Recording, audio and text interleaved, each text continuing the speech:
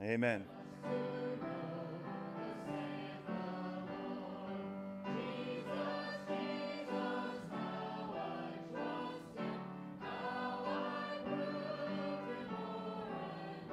For we do not have a high priest who is unable to sympathize with our weakness, but one who has been tempted in every way as we are, yet without sin.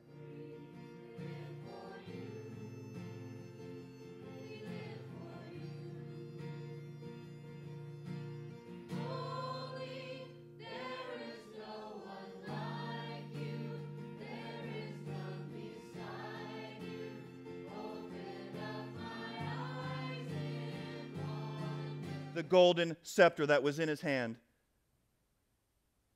Her God did not forget her. Your God does not forget you. And when you humble yourself and turn and cry out to your God, the favor that we see is remarkable.